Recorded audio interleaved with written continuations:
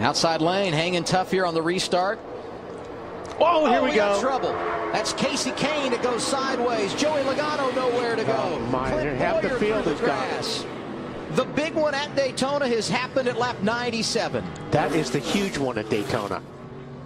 Justin Allgaier. Oh, the Denny 18 Hamlin, gets on its roof. Kyle Busch rolls upside down.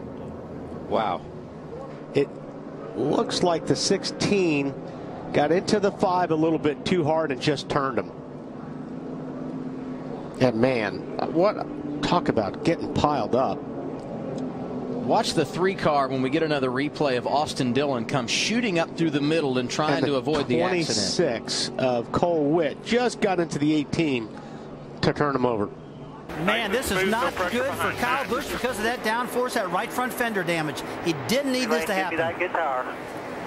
So Joey Logano. Oh, the big crash along the front straightaway, including Stenhouse in 62 of Brendan Gaughan, the 15 of Michael Annett. So the caution comes out again. Oh, no, It'll here be our 10th. Man, look at all the damage And- you got right here. This car's been upside down. This is Joe Nimitz. Take a look, boy. Holy cow. He was Joe's upside car. down. Yeah, yeah, that car definitely. Whenever you can see the roof flaps, take a look. Here we go. Okay, he's looking inside of Michael Annett, and this wreck happens in front of them. There is the 16. He's already turned around. That all happened in front. Now, where's Joe Nimitz at? Oh, oh, Oh, right there. Gosh. Who got in? And, and it was the 16 with a Stenhouse. Gracious. He ends up going over. Take another look. Oh, oh. Okay, does that qualify or everything's going to get crazy? yeah. Well, I think that's crazy. That's crazy. Oh, Suarez. Briscoe got him into the back of Suarez. And he gets pounded. Dang it. Oh, Buescher's upside down. I think he hooked a drain. Yeah, I'm going to tell you, if, if, if you're Chris Buescher in that position and you, we've seen a lot of cars slide through the infield, the last thing you think is going to happen is that you're going to flip. I, that was the last thing he thought was going to happen. But I, I'm with Clint. It, it almost appears that that impact from Suarez spins around right here. You see the right front. Oh, See you it flip right over? there. Yeah. Dug in. Upper A-frame was broken. And as soon as it rolled underneath the car, it dug in and sent that thing a flipping. Wow. What a ride.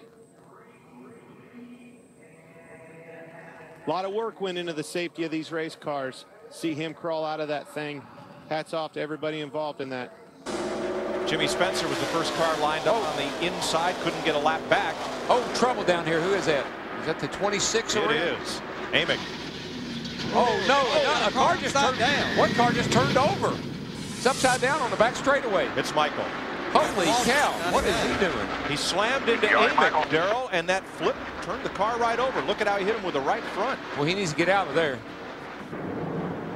See the 26 car get around right there. And everybody's trying to crowd down to the bottom. Knowing he's going to go to the bottom of the Right. racetrack.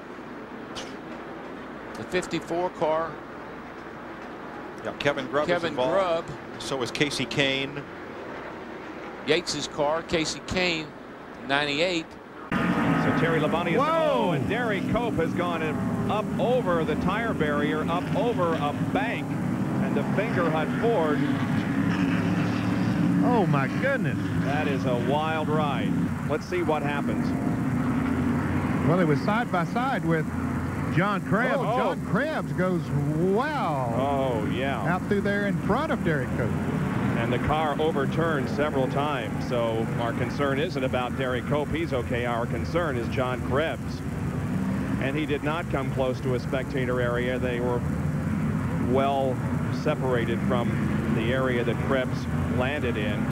And Kurt Busch trying to move to the inside and take that spot away and take the lead away from Newman, but Newman will have nothing of it. Whoa, got trouble getting into three, guys. Joey Logano. Big crash. Oh, he's Oh, upside no. down.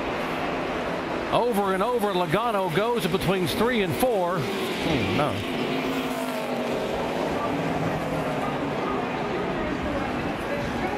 The car will come back to rest on all four tires. heavy, heavy crash here on lap 32.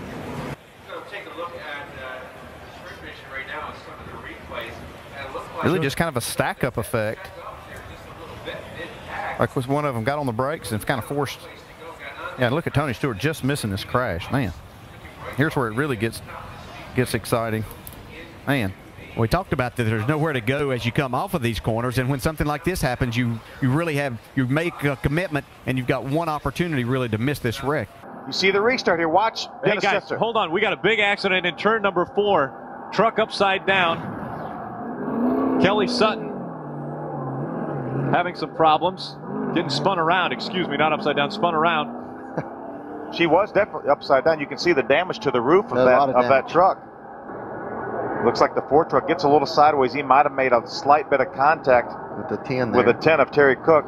We see Kelly Sutton probably going to come along here with nowhere to go. You oh. see, he oh. made some hard contact with the left front of Chris Fontaine's, and that sent her up into the outside wall, and somehow her truck got upside down. Let's see if we can take another look at it.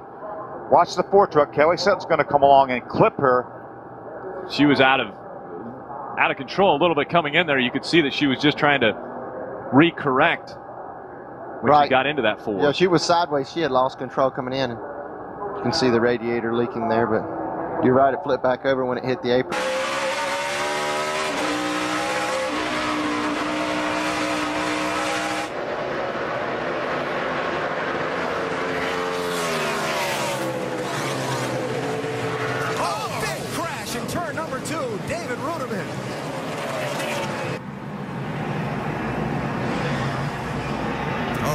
Six gets, it's like, oh, oh my gosh. Goodness gracious.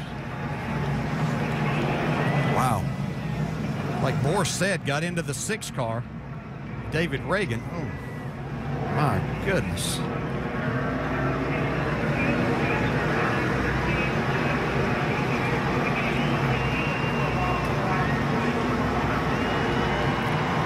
That's a hard lick for David Ragan, but this, oh my goodness.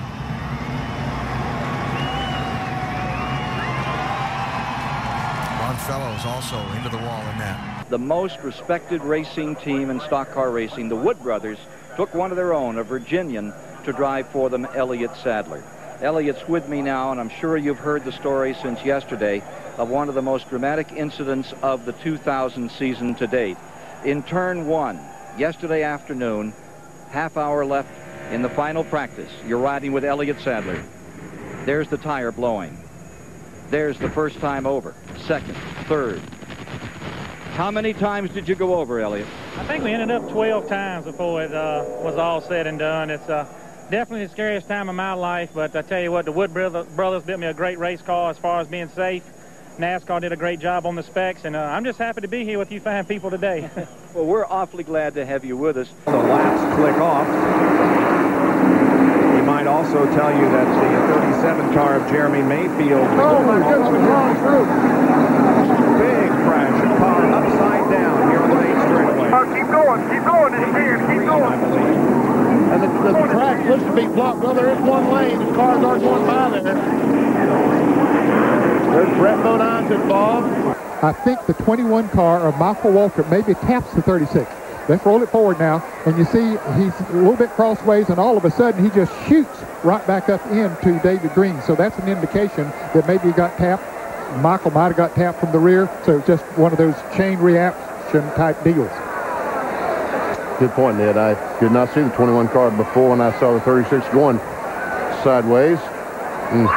That's David Green sliding along on the side, and when the car stops, goes back on the wheels of the six car did not get off to a particularly good start. She's on the bottom of the racetrack, just can't move that car up, and cars are just going by on the outside, freight training her. And she lost about 10 spots. Oh, we got trouble coming off of two already. Matt Kenseth is around a hard hit. Kenseth took a hard hit. Oh, we oh, got somebody on the head. Donnie Neuenberger in 52 goes tumbling down the backstretch and then in the inside wall. Sauter involved in it. There is nowhere to hide when trouble breaks out here. If you're behind it, you're probably going to be in it.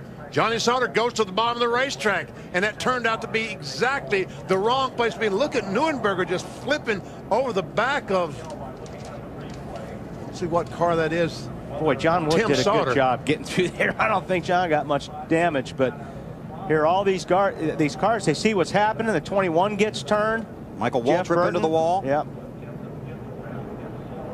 You know, one of the things that uh, I picked up on in some of the interviews we did from Denny Hamlin talking about the Toyota engine, apparently some of that valve train problems they were having at Daytona carried over to the unrestricted engine, and they've had to back way, Trouble way turn off. two.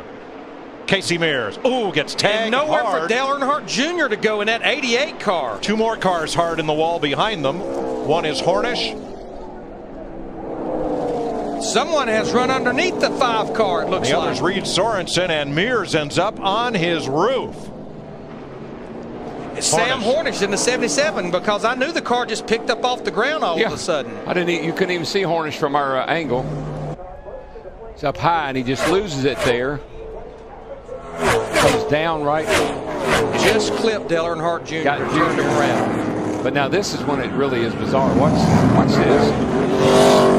Hornish already had damage and the hood was up so fi- high he couldn't see out of the windshield, see. I don't think. Now watch Junior in the 88 come into this, get clipped, knocking the right side sheet metal off and banging the left side.